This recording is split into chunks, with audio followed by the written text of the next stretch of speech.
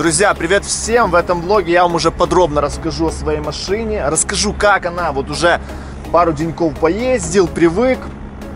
Это видео будет очень интересным, полезным и мотивационным, так что обязательно досмотрите его до конца. Погнали!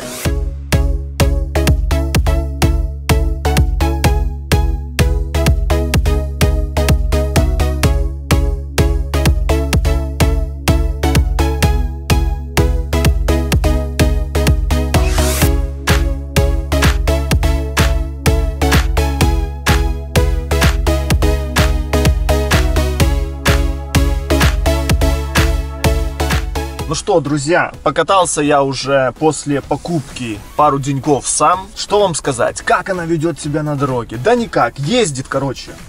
Это же первая машина моя, и я не знаю, с чем сравнить. Я ведь только начинаю осваивать водительский курс, так что строго не судите. Буду рассказывать все как есть. Смотрите, еще раз повторюсь, что люди разные. Есть люди, которые очень кайфуют от машин, есть люди, которые кайфуют от других вещей. Так что не идите на поводу у большинства. Честно сказать, удобнее всего, мне удобнее всего это ездить на такси. Вызываешь Uber Black, приезжает Mars или Lexus и везет тебя по своим делам. Ты вообще ни за что не паришься. Ты сидишь себе сзади в телефоне, решаешь дела. Э, по деньгам, по деньгам. Конечно же, ездить самому намного выгоднее. Но смотрите, какая у меня ситуация. У меня сейчас очень много дел. Я вот бываю, выезжаю с утра, там, например, в часиков там 10. И до двух часов я решаю дела. Заезжаю на свои квартиры, заезжаю в агентство, заезжаю в консульство, э, в патентное бюро. Вот езжу каждый день по делам. И вот я трачу, например, вот 4 часа. Я был бы все время за рулем, я бы ничего не сделал за это время. А так я сижу на заднем кресле и решаю дела. Конечно же, большую часть времени я, можно сказать, залипаю, я много визуализирую, я строю всякие планы, э, многое обдумываю, кому-то там звоню, корректирую, можно сказать, наш курс. Э, короче, это время вылетало бы попросту у меня в трубу, потому что я концентрировался бы на дороге. А так я на заднем сидении просто кайфую. Если пользоваться обычным Uber, за 4 часа я бы тратил где-то, ну, 500 рублей. До 500 рублей я бы тратил за 4 часа. Да нет, меньше даже. Где-то 350, может 400 рублей я бы тратил за 4 часа. На Блэке я трачу где-то 1200 рублей 1300, может быть, за 4 часа. С личным водителем это вообще другая история. Э, с личным водителем я трачу за 4 часа от 2000 рублей. От 2000 рублей, так что личный водитель, я не знаю, он как бы не выгоден. Э, я ездил с личным водителем, э, потому что я учился как бы всем этим правилам, он мне подсказывал. А вот сейчас, кстати, я выехал первый раз сам, вообще без никого, это мой первый раз. В принципе, все нормально, но я маршрут уже знаю. Просто вот я иду по пути, где меньше всего гемора. Где меньше всего гемора, где больше всего продуктивности. И я должен концентрироваться абсолютно на другие вещи. И вот когда ты вызываешь такси, вообще нет никаких проблем. Ты не переживаешь за машину. Э, ты тратишь какую-то часть денег, но оно того стоит.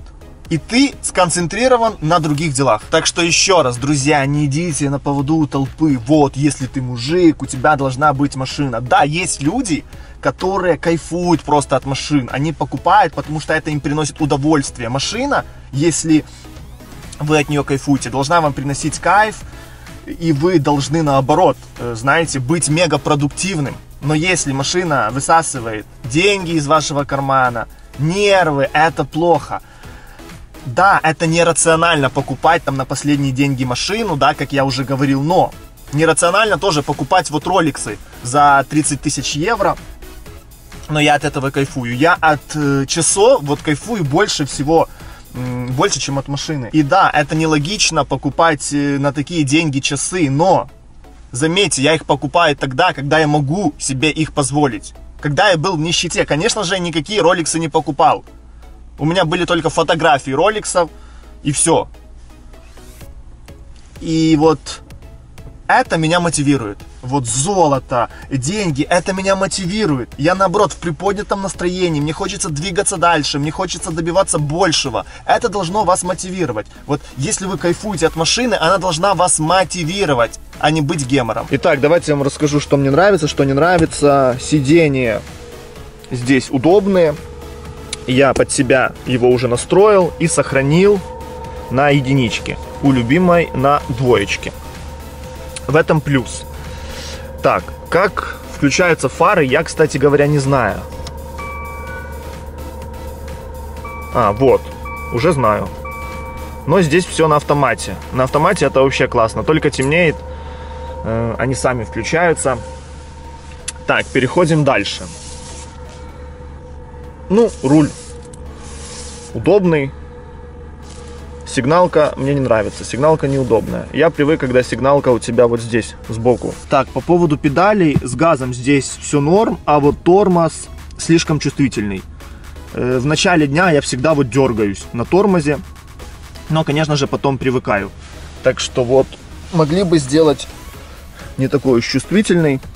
Дальше, что здесь мне еще не нравится? Я погонял на спортике. В принципе, я вам скажу, никакой разницы ручник. Ручник очень удобный. А вот кулиса мне не нравится, потому что она всегда возвращается в исходное положение. Я считаю это минус. Если ты на драйве, то она должна быть здесь. Если ты на паркинге, она должна быть здесь. Ну, мне не с чем сравнивать. Я учился водить на «Шевроле», пару раз покатался.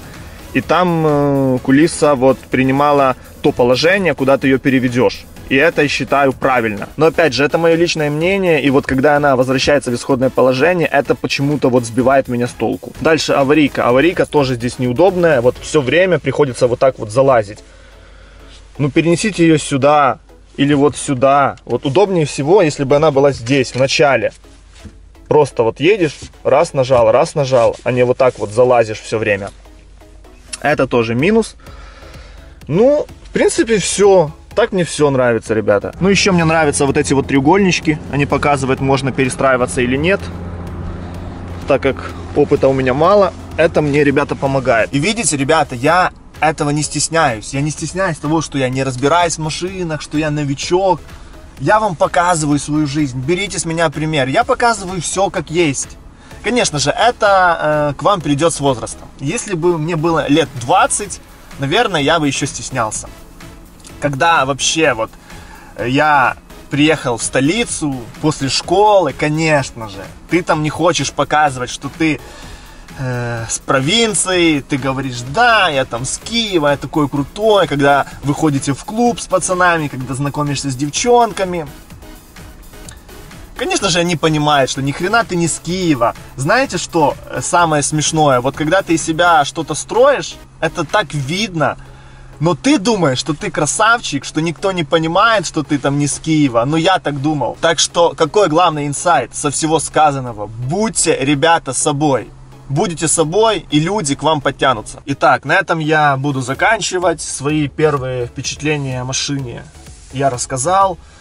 Э, все равно, когда у меня загруженный график, когда у меня очень много дел, конечно же, я катаюсь с водителем, чтобы быть более продуктивным. Как вообще родители отреагировали на покупку? Да вообще никак.